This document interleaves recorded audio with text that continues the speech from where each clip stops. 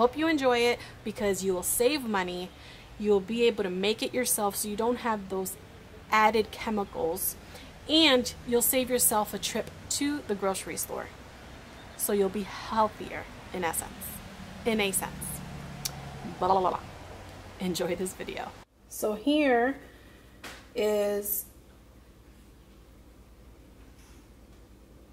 washing soda. Not baking soda, washing soda. Three quarter cups. Half a cup of borax. And then in here is the essence. Two tablespoons. So whatever essence you make, we're going to add that all. So first, let's boil the water and I'll show you how to do this. So now we're going to add our washing soda and it's 3 fourths of a cup. This is a little more. Remember, I am doubling the recipe. So add it a little bit at a time I still have my heat on high. A little bit at a time because it does that. Okay?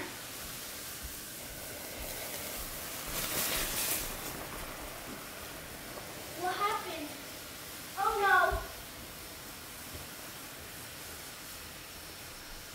Sorry, stepping back. Are you gonna turn off the fire? No, baby. So then I'm using a whisk and I'm just going to whisk it until it is dissolved. That's why I wasn't Okay. I'm going to lower my fire to a medium. And I'm just going to look on the bottom here to see if it is dissolved. It looks dissolved to me. So now um, I reduce the heat to medium low.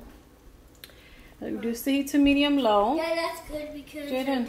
Like. Jaden freaks out with, you know, the bubbles and, and high heat and everything. Anyways, so now I reduce the heat to a medium low, and I'm gonna let this cook for two minutes. I'm gonna put the timer, and then I'll be back and we'll finish. Okay, it's been two minutes. Okay, that's what it looks like. So now what I'll do is we can go ahead and add the um, half of a cup of borax. Remember, I'm doubling this recipe. So I'm just going to add it slowly.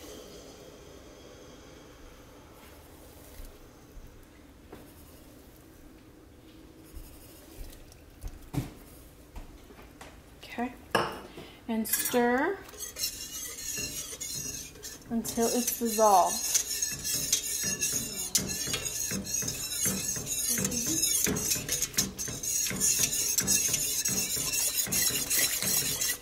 If you guys are interested in seeing how I make my homemade shampoo and everything, comment below. I make um, reusable dryer sheets. I make um, homemade shampoo. It's a body wash and shampoo in one. And then I also make a dish soap. I also make, what else did I make? A bleach spray um, to clean showers and stuff and toilets and disinfect it. I use the whisk because you don't want the powders to clump up. And you're more than welcome to use distilled water or filtered water because you don't know what particles are in your your um, faucet water. But I went ahead and um, I just use faucet water. So I think when you boil it, it distills it. It also helps to um, melt all the powder together. Now, we're going to add our soap. So I'm going to go get that soap, and it's the Castile soap. I use the liquid form. Um, soon I'll be coming out with a video. It'll show you how to make your own from a bar, Castile soap bar. You make your own liquid because the liquid is more expensive. So I'll be back with the soap. All right, so it's a quarter cup of the Castile soap. I do use the unscented one, and I'm going to add my orange essence that we made. Or you can mix the citruses, um, lemon, grapefruit, lime, even um, orange juice. Right? I did the orange one earlier. Not orange juice, but orange. So here is the quarter cup. Again, I'm doubling it, so this is half a cup of the um, Castile soap. So I'm going to add it a little bit at a time.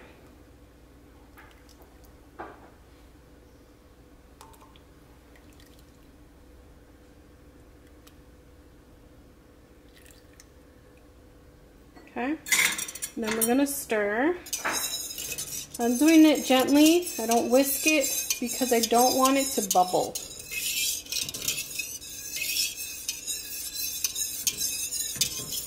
And so now that the borax and the washing soda and the castile soap is in and all those powders are dissolved, right? Now we're gonna add our essence. If you're using oils, do not do this step yet. Wait until it cools completely before adding your oils. Um, but this is the essence that I'm using. I'm gonna go ahead and add it. And I've reduced my fire to a simmer. Gonna stir. Pretty color. Natural pretty color. 20. So now I'm gonna let it simmer on low. That's what a simmer is. Um, for 20 minutes. So I'll come back and show you what that looks like.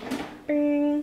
All right, so I'm gonna leave this here to sit overnight. And it's starting to thicken already. And when it is done, which I'll show you in the morning, it should be a gel-like consistency, okay? If you make this, leave in the comments.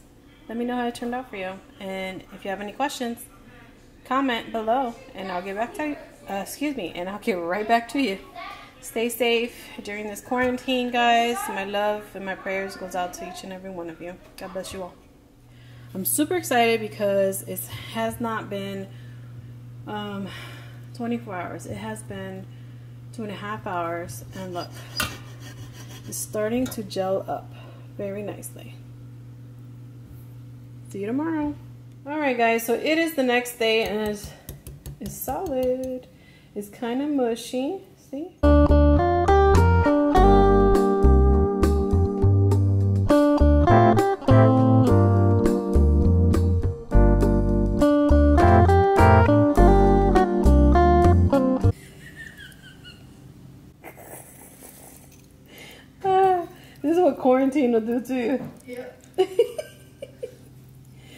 So what I'm gonna do, because I want it in liquid form, so all I'm gonna do is um, put this in uh, my blender, my older Ninja that I have around, and I'm gonna go ahead and blend it until it's smooth, and I'm gonna show you what that looks like, and I'm gonna put it in the container that I'm gonna be using. All right, so all you need is one to two tablespoons per load in your dishwasher dispenser. Now it all depends on how big as your load, right? So if it's a smaller load, you could do one tablespoon. You be the the judge, but let me tell you that this is gonna be so worth it. I'm super excited, and I'm never buying store bought soap again because making it at home has been very satisfying and you know like a stress reliever. And also, I have saved so much money by doing this. And the best part about it, I don't have to go to the grocery store to buy it. Awesome, right? All right, I'll be right back. So here we have Christian. Say hi. How old are you, Christian? I'm 10. You're 10. And what has quarantine done for you? Nothing. What have you learned? Not to go outside because of my allergies. Hey, hold on, hold on. That's enough. Okay, so we're gonna, hold on, let me shake it a bit. Not to go outside because of your allergies? Yep. All right, so I'm filling it about that much. Actually, fill it up to where it says cups right here. Yeah. Yeah. For some reason, Jaden and Christian have had horrible allergies going on since quarantine. We go outside to try and do walks, and guess what? They come back with swollen eyeballs, right? Yep. Been hard. That should be enough. I think that's good. Watch that little piece, it's gonna fall off. Yeah. Ah. All right, so the pieces you dropped on the counter, go ahead and pick them up and put them back in the pot. All right, we're off the blend. Blend it. and- We're gonna blend it until it's smooth.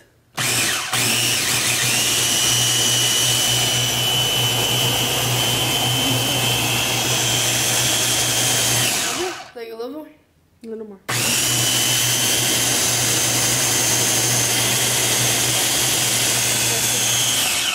Okay, let's take this off.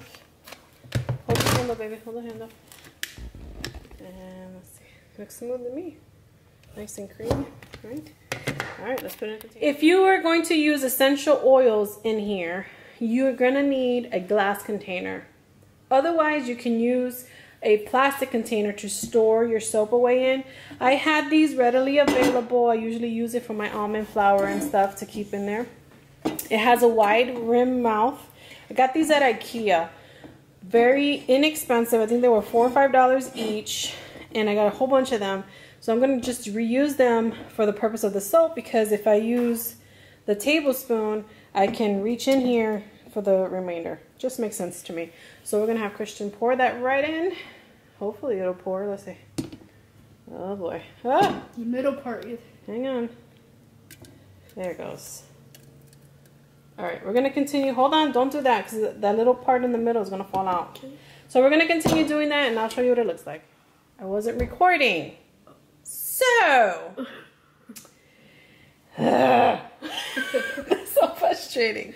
All right, so this is the consistency you can expect. I love this container because, bam, it has a screw cap that I could just open up, get my tablespoon, and put it in my dishwasher, and I'm done.